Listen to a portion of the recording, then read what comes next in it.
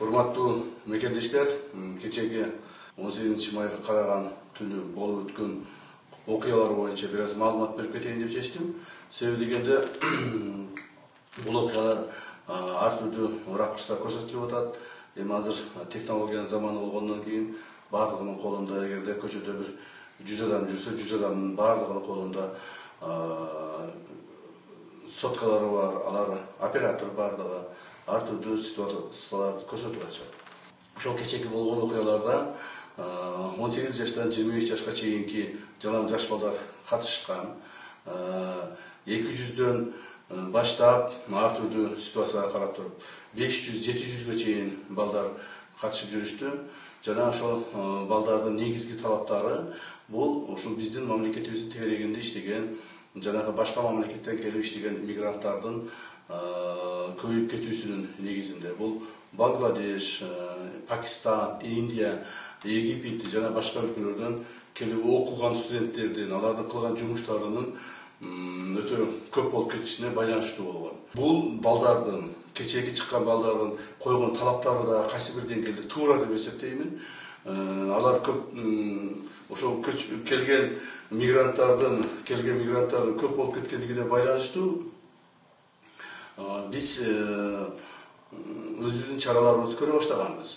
мына жакында эле ушул апрель айынын башында болуш керек урматтуу президентибиз садыр кожоевичтин өзүнүн жеке тапшырмасы негизинде ал киши ушул өзү совещание өткүзүп президентибиз өзү совещание өткүзүп ушул тапшырмаларды алдыбызга койгон мамлекетибиздин ичиндеги мыйзамсыз жүргөн ар бир ошол башка мамлекеттен келген мигранттардын жоопкерчилигин кароо боюнча ошонун негизинде апрель май айларында өтө активдүү жумуштар жүргүзүлүп жатат жүргүзүлдү жана азыр дагы жүргүзүлүп жатат күнүнө жок дегенде жыйырма отуздан элүүдөн ошол мыйзамсыз жүргөн мигранттарды биз таап чыгып жана аларды мамлекеттен чыгаруу аракеттерин көрүп атабыз мына ошол мамлекетибизге келген мигранттардын мыйзам бузуучулуктары боюнча толук статистикалар бүгүнкү күндө биздин колубузда бар анын негизинде айрыкча ошол көптөгөн мыйзам бузуучулукка баргандар бул пакистан жана бангладеш өлкөлөрүнөн келген граждандар пакистандан келген. Бүгүнкү күндө бир жарым миңге жакын адамды биз чыгардык. Бангладештен келген миңге жакын адамды чыгардык. Бирок ошол эле мезгилде мыйзамды бузуп бүгүнкү күндө мамлекетибиздин ичинде жүргөн беш миңге жакын адам бар. Беш миңге жакын адам бар. Ошолордун бир жарым миңиндей бир миң үч жүз алтымыш адам пакистандан жана бир миң үч жүз адам бангладештен калгандары башка мамлекеттерден ошондуктан бүгүндөн баштап дагы ошол мыйзамсыз биздин мамлекетте жүргөн башка мамлекеттин граждандарын мамлекеттен чыгаруу боюнча чоң иш чаралар дагы уюштурула баштайт ушуга чейин жүрүп келген мындан кийин дагы жанагы күчтөндүрүү тартибинде ушул жумуштар улантылат негизинен кечээки ошол чыккан адамдардын койгон талаптарын туура деп эсептейбиз бирок ошол эле мезгилде